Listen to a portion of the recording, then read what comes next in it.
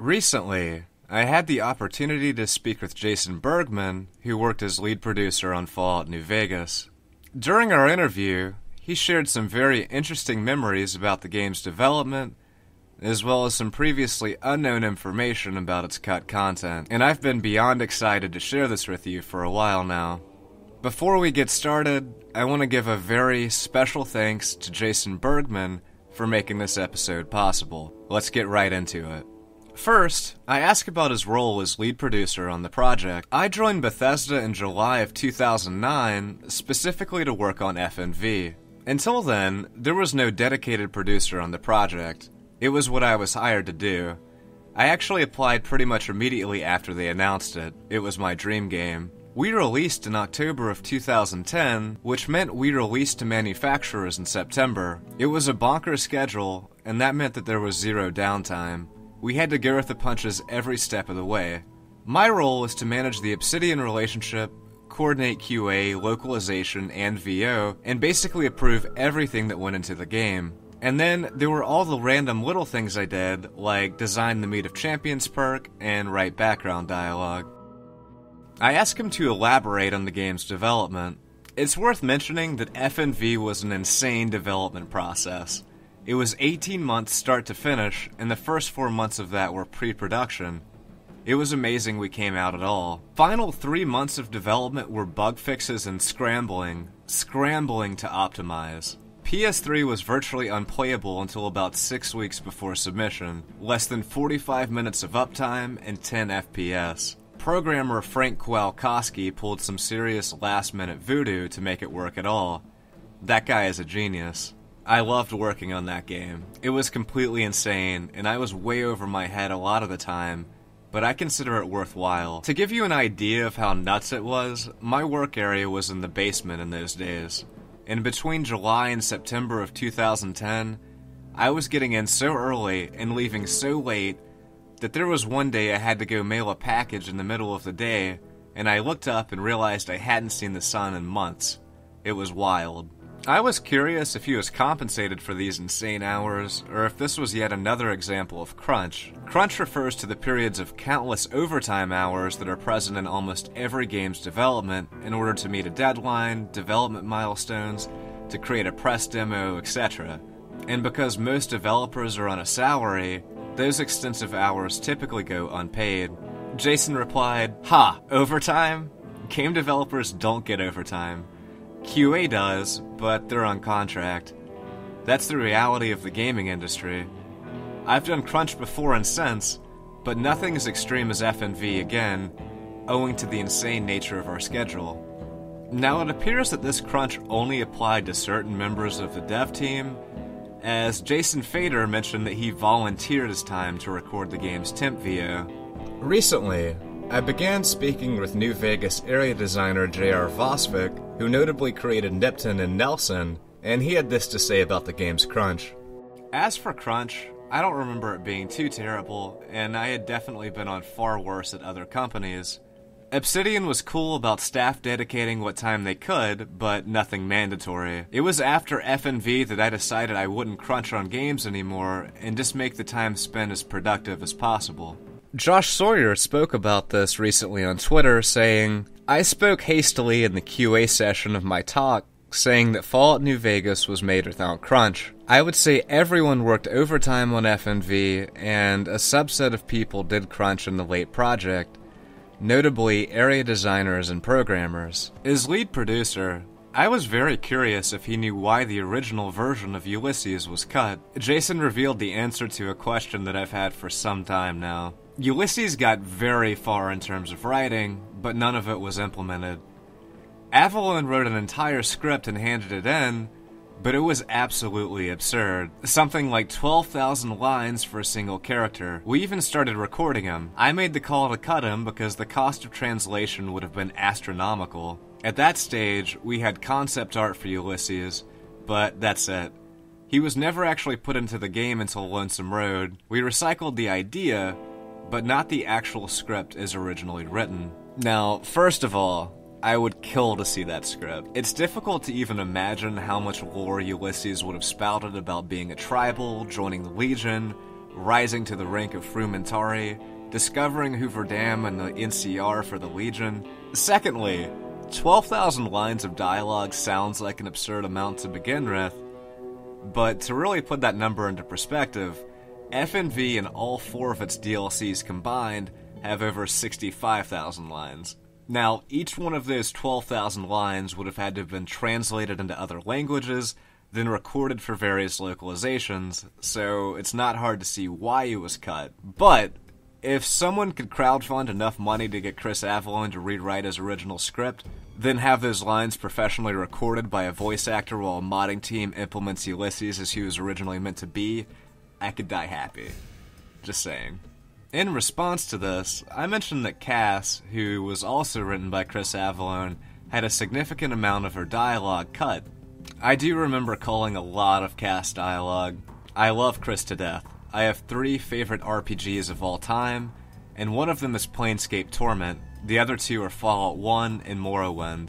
Like I said, dream project. But that guy likes to write. It was because of his overwriting that I set a hard limit on how many lines we could record for the DLC. I think it was 1200 across all four. It was a good challenge for them. Chris Avellone actually talked about this dialogue limit in 2012. He mentioned that the limit was 10,000 lines, and he appeared to imply that this limit was responsible for Christine being mute, as well as Dr. O's corrupted voice modulator, I will admit, one bit of trickery I did was because we had a limited number of voice lines, we started doing things like making some of the main characters mute, so they'd only do like hand gestures and symbols and non spoken text. We were only able to get away with that for so long. All of these things are important because they're going to save you time when you're recording at the studio because studio time is incredibly expensive, and the last thing you want is some actor spending five minutes debating the line with you trying to get it fixed when you have 300 more lines left to read and you have no idea how you're going to get it done. Next, I inquired if there was any content that he regretted not making into the final game. The only thing I wish we had gotten in was Cass's romance option. The idea was that you would get drunk and wake up in a marriage ceremony being officiated by the king, who was singing Love Me Tender. I still love that idea. We couldn't get the music rights, and ultimately cut her romance entirely. We also at one point had plans for same sex marriage that we cut out. At the time, that was still a new thing in this country. It wasn't killed because of that, we scaled back romance in general but it's a bummer we couldn't be quite as progressive as originally planned.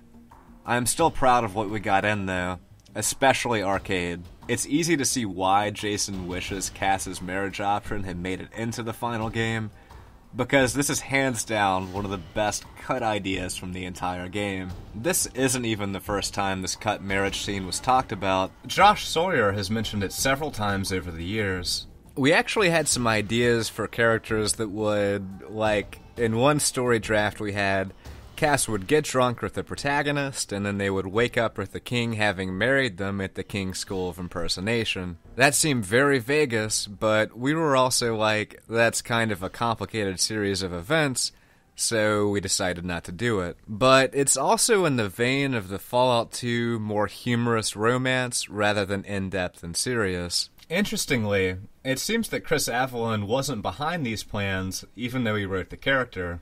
There was never any such Cass slash King quest slash event that I'm aware of. Also, I'm not against RPG romance, I just don't like writing them. Second, it's a shame that same sex marriage was cut, as that would have been incredibly progressive in 2010. Finally, as Jason mentioned, Arcade was a trailblazer given the time period and remains as one of the best representations of a gay character in gaming. Josh Sawyer spoke about his inclusion on his blog not long after the game's release, saying, Represent marginalized groups when sensible. Diversity helps broaden the appeal of our media, can add interesting dimensions to thematic exploration, and in some cases may even generate themes that would otherwise go unexplored. Jason continued, speaking about the game's cut content, I think we got pretty much everything we wanted in. The Hoover Dam fight isn't as epic as it sounded on paper, and the strip obviously had to be cut up to fit into console memory. but we did pretty good, all things considered. Some things I still think are great, like Beyond the Beef. Fenstermaker was the writer, I think, and Boone's Quest, Gonzalez. And I love the writing in Honest Hearts to pieces. When you look at the game's dialogue files, there's gotta be a ton of dialogue that was written and even recorded, but literally never plays. I personally wrote at least a hundred lines of Nightkin dialogue that we recorded, but you'll never see in the game. None of us had ever actually made a game with the BGS engine before. It was my first project at Bethesda, and BGS was busy with Skyrim, so they were of no help. So we thought all characters needed all of those radiant dialogue lines, but there's no way to get most of those to play. Oh well, live and learn. And he's right. I can only guess how much unused recorded dialogue there is in the game files, simply between the dialogue from cut quest and story events and the dialogue that can never be played because of impossible conditions or not being randomized, etc. But there are at least hundreds of recorded lines you'll never hear in the vanilla game. I'm pretty satisfied with the content that made it into the game. Everything that was cut was either repurposed, Ulysses, or just reduced in scope. I would have liked to have seen the Cass slash Arcade romance stuff, but since they never got off the paper design stage, it's barely worth considering as cut content. I was curious if he had a character concept for Wild Wasteland Radio, to which he responded, I remember talks about Wild Wasteland Radio, but there was so much to do that Wild Wasteland was always a nice thing to have in general, and not worth serious consideration. The few things we got in for Wild Wasteland had to be one, approved by illegal, which shot down a lot of ideas, and two, very low hanging fruit. Considering the insane development cycle of New Vegas, it makes sense why there's not much Wild Wasteland content, as it's far from the critical path. Finally, I ask about the relationship between Bethesda and Obsidian. The relationship between Obsidian and Bethesda, at least from my perspective, was great. There weren't many of us on the Bethesda side of the project.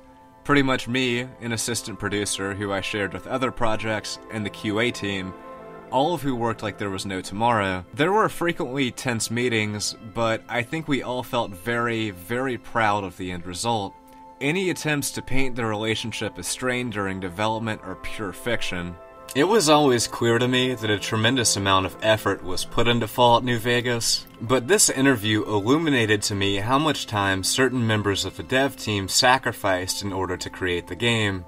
While Jason Bergman's transition from a fan to becoming lead producer on the best game in the series, while getting to work alongside some of the team that made the original games is inspiring to say the least. He also created the Meat of Champions perk, which I think is worth mentioning again, as it's one of my favorite perks from any of the Fallout games. And that's all for this episode. I'm saving a handful of this interview for future episodes where those quotes will be more relevant, but that was the majority of what we spoke about. As always, thanks for watching, and like and subscribe for more content like this.